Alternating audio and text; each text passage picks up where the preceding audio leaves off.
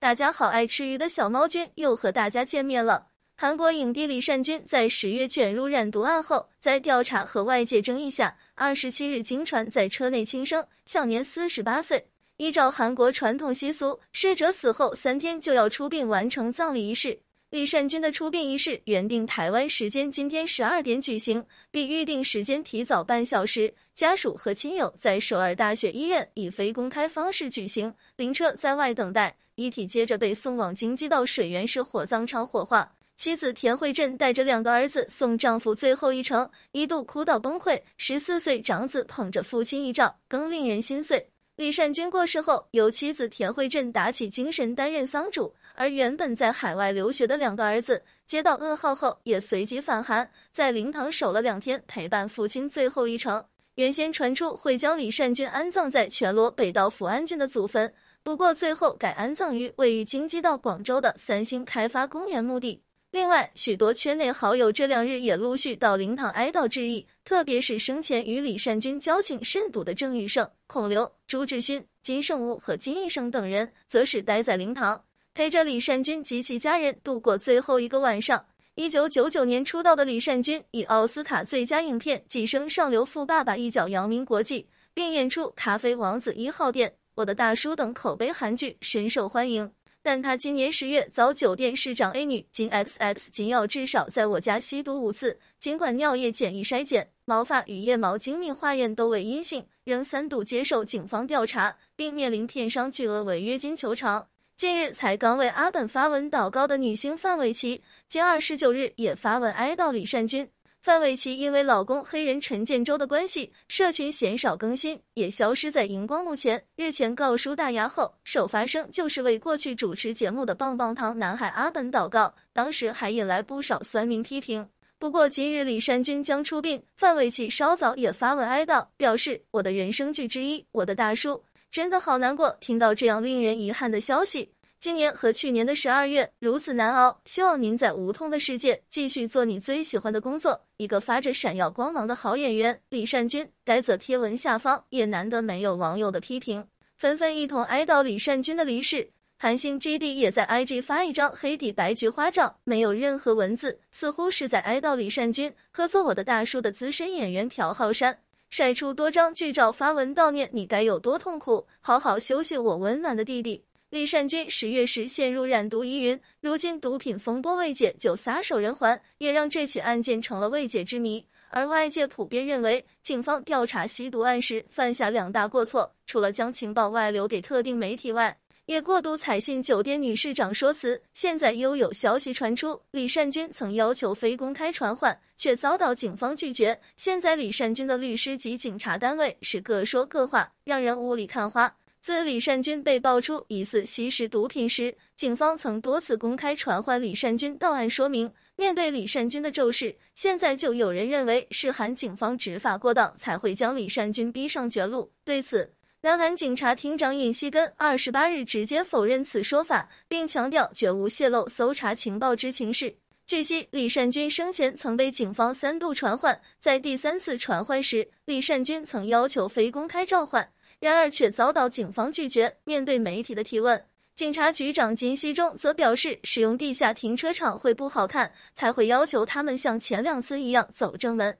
李善均的律师近二十九日也透露，李善均已经站上去拍照两次，再度要他站上去，可以视为想让他丢脸或感到受辱。在面对第三次应讯时，也强烈要求以不公开的方式进行。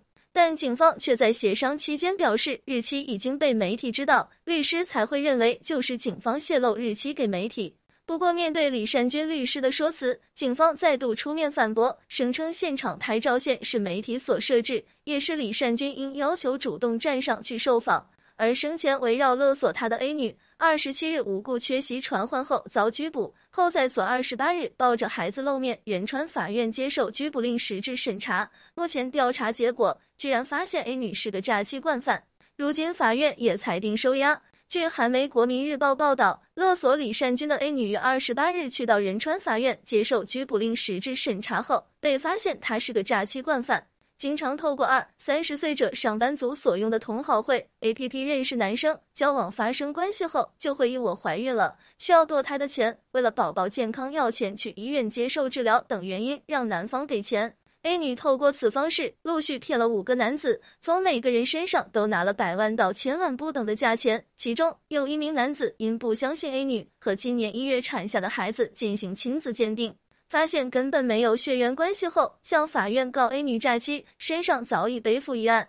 与声色场所女市长关系要好的 A 女，因涉嫌向李善均勒索韩币五千万元（约台币一百二十五万元），正在接受调查。二十七日无故缺席传唤，延至二十八日出席法院，竟还抱着孩子，引发不少争议。如今确认对方有诈欺嫌疑，又因有逃跑前科，因此早已经发布了拘票。如今法院也裁定收押。他在十月时卷入涉毒、出轨疑云，尽管丑闻未经证实，过去建立的好形象也几乎全毁。不过，仍有不少人在他死后质疑为何不能坚持下去。对此，有网友整理出十四点反驳。有网友在韩国知名论坛 Saku 以那些说李善均为什么不能坚持下去，非要轻生的人都来看看吧为题，列举十四项他之所以选择轻生的理由：要被酒店女市长勒索三亿韩元（约新台币七百万）；二报警后直接被当作吸毒犯；三总统室李斌秘书官女儿卷入校园暴力事件后，李善均在接受警方调查前就被媒体曝光。四检疫毒检阴性结果出炉，媒体报道要看精密毒检。五精密毒检阴性结果出炉，媒体报道要检测腿毛。六腿毛毒检阴性结果出炉，又被说检测标本的量不够多。七再次测出阴性结果，媒体却说是新型毒品，根本检测不出来。八过程中他出演的新剧全被延期上档，制片商等损失惨重。九广告被中断，要负担违约金。十每次接受警方调查时，警署门口都有拍照区域。十一通宵调查之后，还要面对媒体。十二私生活反复被媒体曝光。十三警方调查的部分内容通过媒体直播。十四死亡当天被报道用吸管从鼻子吸毒。原 PO 对此感叹要怎么熬过去？贴文也引发部分网友共鸣，对他的报道确实有些太多了。现在只剩下惋惜。虽然确实是一件引发民众关心的事情。可是媒体报道的方向很偏激，大家适可而止吧。不过也有人认为他是咎由自取，一开始没做错事也不会落得此下场，没人逼他去死啊，是他犯错后自己熬不下去，他就是因为这样才轻生的。因为死了之后，他的一切都会被美化。可怜的是活着却要替他收拾烂摊子的家人。面对李善均的咒誓，外界多是不舍与感慨。然而，却有部分网友认为李善均选择一走了之很自私。对此，台湾艺人西小瓜也有感而发，表示会说这种话的都是没有经历过这样的情绪，并直呼网络霸凌就是凶手。李善均原本是大家心目中的完美大叔，如今却因为陷入染毒疑云而选择轻生离世，令人不胜唏嘘。而也因为过往所建立的良好形象，在众人得知李善均的噩耗时，多半是震惊及不舍。不过，仍有某部分的人站在另一种角度，认为李善均独留两记高龄赋给妻子田慧珍很自私。对此，席小瓜也在 IG 现实动态发表自己看法。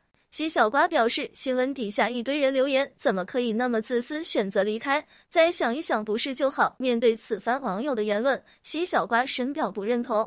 通常会说这种话的，都是没有经历过这样的情绪。他也喊说重话，网络霸凌就是凶手。事实上，大多数人确实认为李善均的轻生与警方及媒体舆论压力有着很大的关系。除了警方仅听信片面之词外，还将情报外流给特定媒体，最后也因为媒体的过度渲染，让外界如雪花般的舆论成为最后压死李善均的最后一根稻草。